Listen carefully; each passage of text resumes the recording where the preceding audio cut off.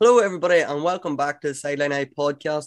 You're very welcome to our review show as we're looking back at the epic quarter final from Sunday when Armagh took on Galway.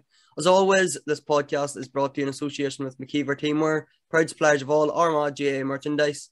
I'm delighted to be joined by Aaron Kernan, and we're looking back at a sensational game, an epic encounter that probably is going to go down as game of the season, but it's it more than that, Arnica, but I think it was the best game I was ever at anyway.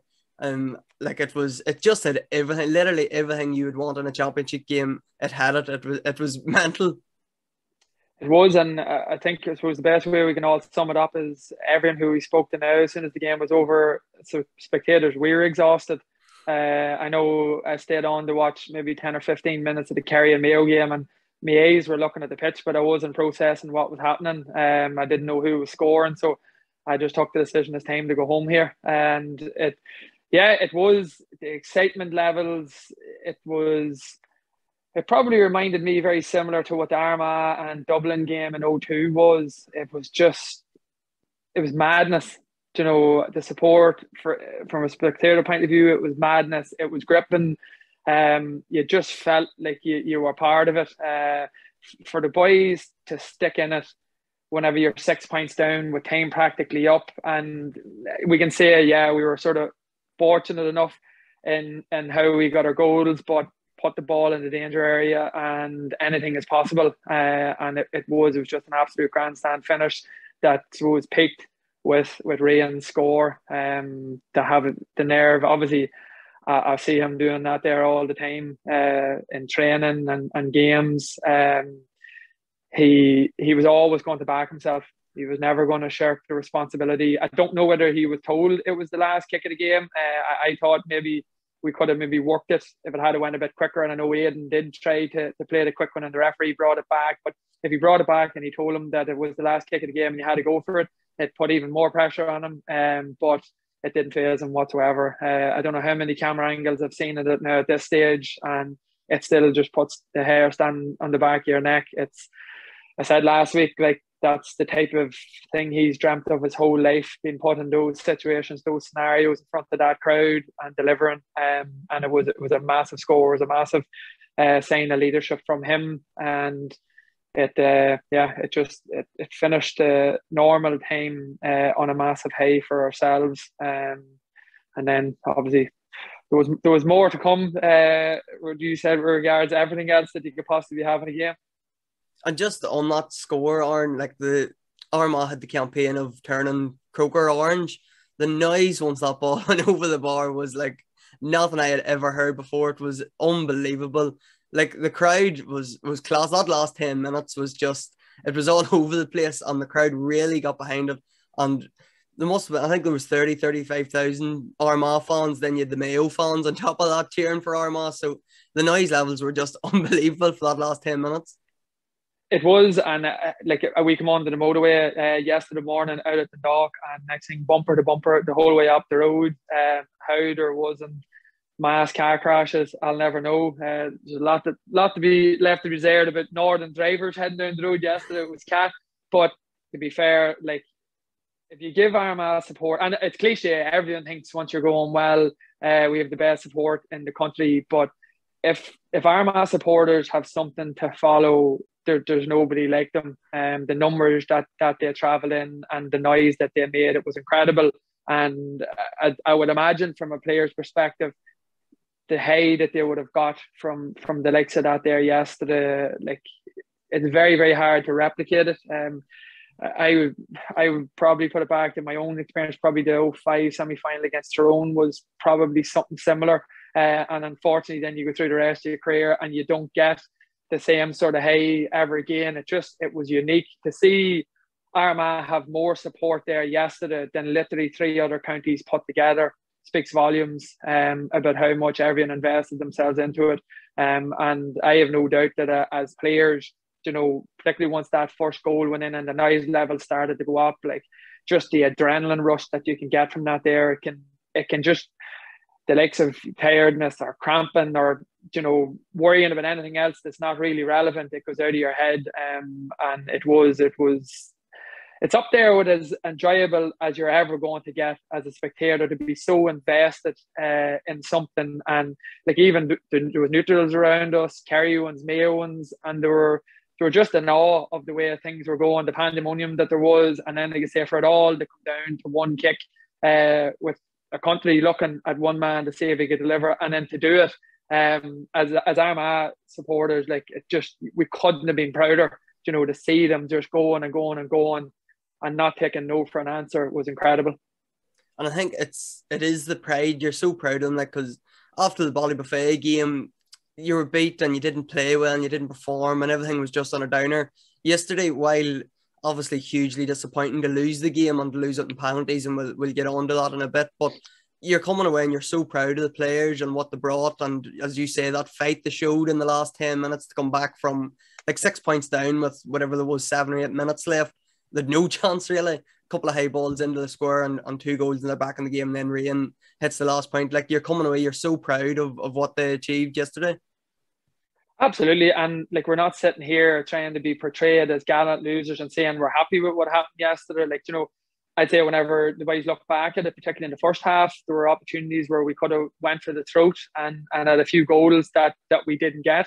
Um, but it, it is absolutely how they just kept going. The, energy levels that they expended, putting their bodies on the lane, chasing lost causes. Like you have to remember at this stage we're down to 14 men as well, mm. you know, and it's easy to feel sorry for yourself. It's easy to think, God, this is it's over and done with, and we'll just take our beating. Um, and that that wasn't the case at all. And I can take yesterday because of how how well the boys performed. Well, not even performed. In fairness, that might be glossed over. We didn't hit the same football, I suppose. Our football ability wasn't portrayed as, as good as what we can, but that happens. But to have the fight and the heart and the hunger that they displayed throughout, immensely proud of them. Like they couldn't have given another ounce yesterday. Could we have made a few better decisions on times in the ball? Could skill execution better? Yeah, of course it could. But it's the pressure that they're under. You know, it's the environment that they're stuck in. There's always going to be mistakes. But I'll absolutely take all day long what they did yesterday. Couldn't ask for another thing from them. Um, and, and I do think that long term, um, for that group themselves, that they will just take huge self belief and huge heart out of what they've done this past few weeks. They've now set a barometer for themselves that that we can't dip back below. It has to be building and growing and that. And in terms of getting more personnel back, and then some of the, the key injuries that we had and Oisín, Niall Grimley, TK, um, you Paddy Burns missing, and then you have other boys who will start putting their hands up through the club uh, championship campaign. I definitely think that you're standing in great stead heading into next year. And Aaron, we're talking about all the, the good points, like there was messy um, circumstances after the full time whistle as well. Um, we've seen it all now in social media. The Sunday game, Pat Spillane giving off about it. The the brawl probably like there wasn't much in it, but bar the TK incident that we're going to have to highlight, like the, there's no hiding away from it. It shouldn't have happened. It doesn't. It doesn't belong on the football field. It's trial by social media, but that you you nearly feel sorry for TK the day that you know it's just a, a heat of the moment thing that um that has happened. And apart from that incident, there didn't seem to be much like handbags pushing and shoving that we're used to that we see everybody you know when Armagh's involved it's it's bad looking but when Kerry and Dublin do it it's manly you know that's the way the football should be but uh, we're not getting into that debate but that uh, how did you think did it impact the game at all did you think was there obviously the two red cards for Nugent and Kelly but did it have any impact once the teams come back out for extra time I don't think it did. Um, I don't think it had much of a bearing um, on how uh, that time was just that crazy. Um, I wouldn't put anything down to, to what happened. Uh, at the time there in person, it looked a lot worse than what it did whenever I, I went back home and I sat and I watched it last night. It's messy. It shouldn't happen. Am I disappointed that it happened? I am. Um, I, I think after the Tyrone game, the Donegal earlier this year, you know, I think we probably should be learning our lessons in situations like that there. Granted, there's not a whole pile in it, um, you know, but I just think in terms of what we just had done in the game, the position that we got us in, we salvaged the draw from it. Our focus needed to, to be elsewhere. So uh, I, I have no doubt Kieran you know, over time, it's not going to be last night or it's not going to be the day to sit down and start talking about it. But I'm sure it is something that will be addressed. And realistically, it is something as a group that we do need to stop getting involved in. That's three this year. Um, it, it does need to be nipped in the bud because I'm sick of us giving outsiders the opportunity to have a go whenever like, we can honestly speak about the pride that we have for the boys, um, you know, and how they performed all year, how they carry themselves, how well they treat and behave the children of our county whenever they see them before, after games, whatever it is, they carry themselves as as proper inter-county players and brilliant representatives for our county. So let's not forget that. But but I am disappointed that we got sucked into something else again that we had no business getting involved in. Uh, I think it took away from what we did really well at the end of the game, but I don't think it, it had any influence or bearing on how extra time or penalties went. Um, and in relation to, to the TK one, um, it, it's tough to sit and address something like that whenever it involves one of our own. Um, but like what's gone on in social media this past 24 hours, um, it I don't I don't agree with it whatsoever.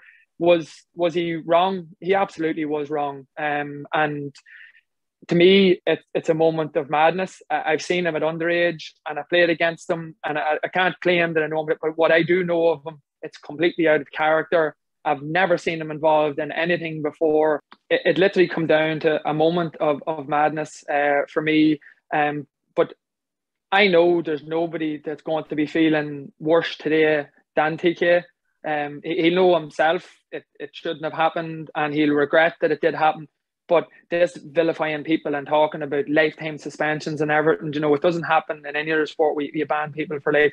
We're fortunate that it wasn't serious or it doesn't appear to have been serious. It's a regrettable incident. Nobody will regret it more than TK. And I'd be of the opinion I think he'll hold his hands up, admit he was wrong, take whatever punishment comes, and let the young lad move on from that there and it'll be an experience that he'll absolutely learn from. Um, but again, completely out of character for him. Uh, never seen him involved in anything at all before. And like I said, once this is dealt with, I'd like him just to be able to get on back playing football and doing what he does best. You know, he's had a tough year where he's missed out on all of this um, through injury, but I'd like it just to be put to bed and like I said, take whatever punishment comes his way. It, it might be severe enough, or it might. I don't know what the precedence is for it. Um, but he's a young lad who has made a mistake. It's nothing more than that there. Um, and I'd like him just to be allowed to get back doing whatever, doing what he does best whenever that time is right. Um, and just put it down to an experience that I'm fairly certain will never ever happen again on the brawl, like what come out of it, the two red cards. Um, but then Armagh, or both teams, sorry, were back to 15 for extra time. Just on Greg McCabe's red card, to get your views on it. I felt at the time, certainly it, it was a missed time challenge. He was late. It was a, a definite yellow card and a definite free. A red card I thought was very harsh. Now, he does probably catch his head once I get seeing it back again, but it's just a mistimed hit. I thought like I'm trying to think of it, you know, take your Armagh bias out of it and try to think of it, you know, two guys going for the ball. I thought it was a definite yellow. Is there was a red harsh? What what would your views be? Uh, it it's a mistime. He he goes to put plenty on him on Matthew Tierney. There's no doubt about that there. Um, if, if like say we take our, our orange and white glasses off, uh, if, if you go back to last year where John Small nails Owen McLaughlin and he ends up he, he breaks both jaws and there's a whole uproar that he only gets a yellow card and everyone thought it should have been a red. For me, like Greg has absolutely no intentions of catching him in the head at all. So uh, it's a missed time shoulder. To me, I, I just think because he does catch him in the head, it seems to be if there's any head-head contact at all now that unfortunately, even though it's not intentional, you're, you're going to get you're going to get the red car for so uh, that that's my take on it. Um, I think it it was very unlucky, very unfortunate. Um, it was supposed to be a perfectly timed challenge. Kearney just turns into him slightly, and, and he does as Greg comes across the front of his body, he does catch him in the chin. So uh, it is unfortunate. Um, it, it was unlucky. There was it was borderline in terms of it could have been executed as a perfectly timed hit, and it it's disappointing for him um, because there was no, as far as I'm concerned, there wasn't any malice in it. But once there is contact made with head now at this stage, you're probably walking a tightrope. So um, you, I think the way they describe it is you have a duty of care to, to the man you're going to hit. Um, again, we can probably turn around and say, oh, John Small get away with it last year. Does that make it right? It, it doesn't really.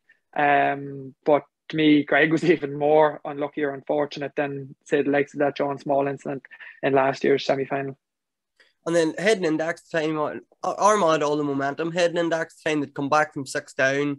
Rian's big kick, obviously. Um, the extra time was just back and forward as well. Like there was, they would score, we would score, we got a goal, they got a goal.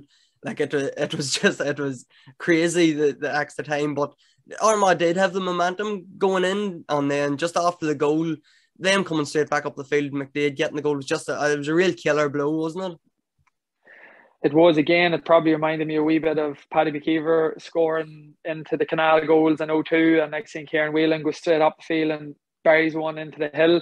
It like for me, it was such a momentum swing for us, and it wasn't the fact it was the fact it was a goal and how calamitous it was. Like that, the panic then was going to set through Galway and their keeper. Um, but I suppose you, you have to give Galway some credit there as well because they've like there would have been serious question marks asked of them throughout the years. I think the stat was yesterday, like in 13 years, they'd only won one game in Croke Park. They can't do it whenever it matters most. Um, so for them to be able to to work the score, can't think of the name of the substitute comes on and has the composure, you know, to create a goal whenever maybe a simple point could have been tapped over the bar. And then McDaid really at that stage, like he was he was motoring. He, he was going to be hard to handle. He was someone who uh, I thought had to be watched very closely coming into the game. And really, whenever it mattered most, he he was the one who really stood up for Galway, kicked one two, and really carried the game us. So it um, yeah it, it for the last 10 minutes of normal time and throughout the whole of extra time, it just was, you hadn't a clue what was going to happen. There just seemed to be no rhyme or reason to, to what was going on across the field. Um, but from from a Galway perspective, you, do genuinely have to give them a bit of credit that they were able to still find a way to, to bring themselves back into the game. And then even the what, what Ethan does, you know, to just take on that he's going to go past everybody. Um, and create the the pint opportunity uh, for Jemar.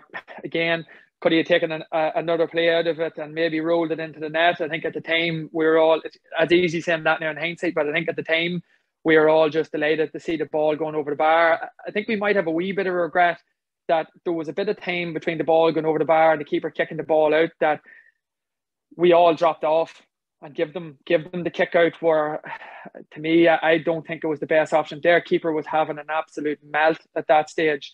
I think had we have fully pressed him, um, their defence were under pressure.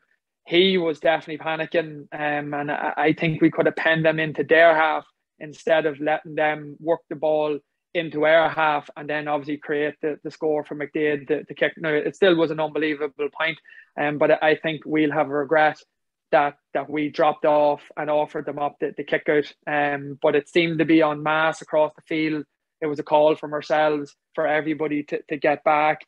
Um, where I thought just given the pressure that their keeper was under and the amount of mistakes that he was making, I, I thought we should have pinned them into their their own half and try to see the game out in that regard instead and let them get the run on us. But again, it's it's easy for us all to speak now in hindsight.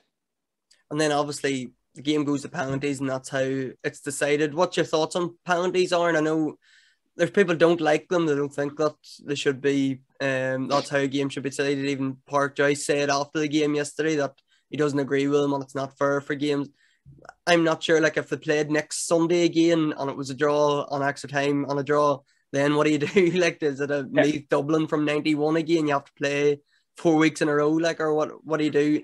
I, I don't mind the penalties. It's a it's a harsh way to lose, but Rian missing the free if Rian had missed the free at the end, that's a harsh way to lose as well. So, what what way do you feel about them?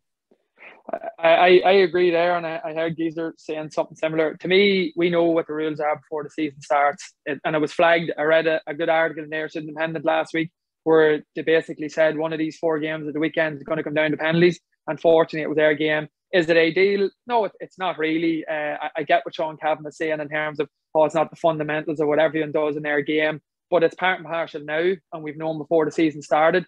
So if you have, a, a, a, I suppose, if, if you know what can come down to deciding on penalties, practice your penalties. It's the same as how does Rian kick that there free kick? Because he goes and practice after training every night. If you're going to be putting your hands up at some stage, like a penalty, whenever you know this is what it come down to, you just need to practice. It's it's as simple as that. Um, Brian Mallon, he, he was always of the opinion maybe that we could have a, a, a, shot out of our hands the same way as you would, uh, you know, for, for, players from, from the 14 yard line, because uh, that's the same as what we do uh, from, from open play. But ultimately, it has to be decided one way or another. So you're right. Like if it goes to a replay next week, if it goes to extra time, and then it goes to penalties, then is it okay in a week's time? You know, so for me, it is what it is. You know what you've signed up for before the season starts. Um, is it pressure? It's unbelievable pressure. But that was unbelievable pressure and 10 players. The whole thing was coming down on Rian O'Neill's shoulders at one stage, and everyone in the stadium standing, and it's down to one man, hmm. and he, he delivers. So um, I have nothing but admiration for, for any of the boys that, that stands up and takes them. Um, would I have the confidence to do it?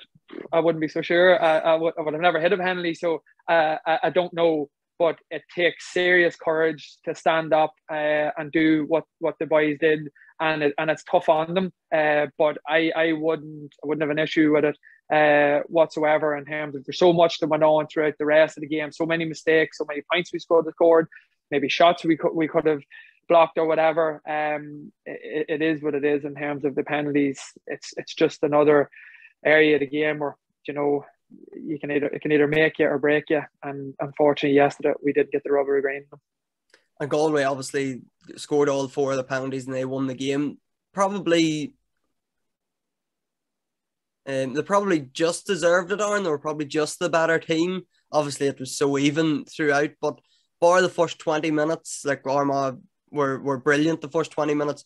Galway probably just deserved to, to win the game. Yeah, I, I think if, if we were being honest, that that period that we spoke about the first 20 minutes, I thought some of the football we played was unbelievable in terms of from Ethan's kickouts to one foot pass up front and the ball was going over the bar. Um, a, a, couple of scores you can think of, like there was one, there was a great ball when in the end Nugent Rian peels off his shoulder, taps the ball over the bar. Um, we, we were flowing really well, but we had those two goal opportunities that if we were presented with them again, we might have done differently. Um, Aidan Nugent, who, to be fair, you probably wouldn't have wanted someone better with the ball in their hands uh, than him at that stage. Like he's usually so clinical and ruthless. Um, maybe Jarly Óg might think twice and maybe look at what Derry did the day before, and they were so ruthless with any opportunity they got plenty of goal at that stage. Even at the time, I felt it could have put the game even out of Galway's reach at that stage because they hadn't got going at all. Um, but in fairness to them, um, whether it was tactically or whether it was just players on the field, I thought they started to settle well. They got a much better shape up front. Um, I was in the canal end where they were shooting in, in the first half, and they they were all over the place. They didn't really know, look like they knew what what way they had to play in terms of the likes of Comer, Finnerty, Walsh. Um, were just sort of ad hoc moving all over the place and, and not having a focal point. But Finnerty in particular, I thought really came into the game, causes serious trouble. Like he is superb left foot. He, he looks, he, he just oozes class. Um, and Molloy in defence and Liam Silke in that period of 15 minutes before half time, I thought they showed their composure and I suppose know-how in Croke Park in terms what they would have done throughout the years with Corofin and got on a world of ball, used it really well, and like they had done super to come in seven points all at half time. Whenever after 20 minutes, we were the team really in control. So we probably just weren't ruthless enough at that period of the game to, to maybe put it a wee bit out of their reach. Um, whenever we were we were definitely on top, and then you have to say from then on, it was bravery uh, and just heart and desire from everybody to just keep going. Um, but Galway from that stage on just seemed to get their scores that wee bit easier um, than we were capable of doing. And now, now that the season's over, um, obviously a, brilliant year for Armagh. Division One uh, kept their place, couple of big wins in Division One. um, and obviously a run to the quarter final. The epic game yesterday. One poor incident was the the Donegal game, obviously in Ballybofey. That was a bit of a downer um, in the Ulster Championship, but the year as a whole is encouraging for Armagh. Looking forward to next year. I don't think there'll be any changes in terms of management or player player wise. Um, the only changes would be them injured boys coming back and maybe a few players, you know, uh, that improved from the club championship. But no, nobody stepping away. No, no changes in the management or anything, and build again for next year and go again. Yeah, and I, I think whenever the management and the players sit down and look at it, like how we started the league campaign and the style that we were playing and the energy levels we were playing for some reason, and it was really after the Tyrone game, it dipped and we went into a sort of lull in our performance and a caginess. And I don't know whether it was an overthinking of our game or how other teams are reading us, but it went really from the Monaghan game uh, until Ballybofey. And then we come back to playing the style and playing in the manner um, that suits the team best. So I think as a whole, they'll all be shrewd enough to sit back and assess uh, where it went wrong or or why we played the way we did, or maybe it's just not that easy to, to play at the intensity that we played uh, with throughout a whole campaign.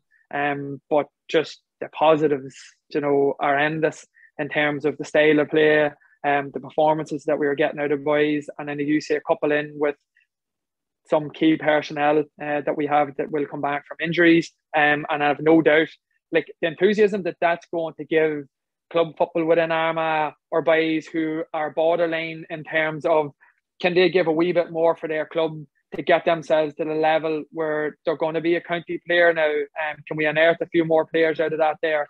Um, I, I think it's you can't underestimate the importance that that run will have for not the next generation, but maybe a few people who are borderline, maybe early 20s, who have the ability but just need to they give it their all. Commitment levels need to go to where they need to be. Um, so I, I think just in terms of everything, um, it's it's a massively positive year, um, and I think it's something that we just have to grow and build on.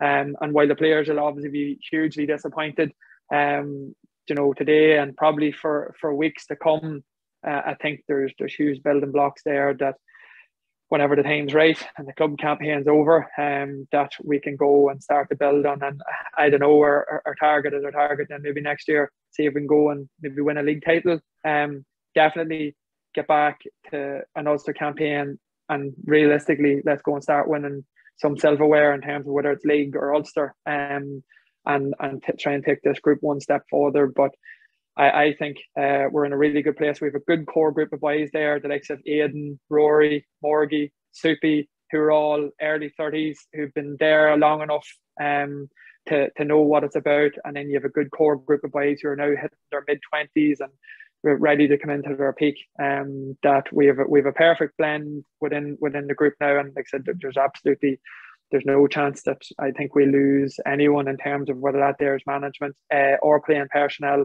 and that's that's hugely important again because it just gives you great continuity going forward. So that's the end of Armagh's season. So um, we'll be covering the the club season now um, for the rest of the the year with the podcast. And obviously, we'll be covering the ladies' um, All Ireland charge as well there in All Ireland quarter final against Kerry in two weeks' time and the Camogues as well, who um, are top of their group at this stage. Aaron, thanks very much for coming on today and giving us your thoughts on the game and being excellent with us all year and um, for our all of our review shows, all of our Armagh review shows. Hopefully, we'll have you back next year and we'll have more um, big days ahead in the coming coming years with this team, and we look forward to that. And thanks very much, and best luck with the, the Crossmaglen Beer Club um, for the rest of the year. No, my pleasure. Thanks very much for the opportunity, Sean. Appreciate it.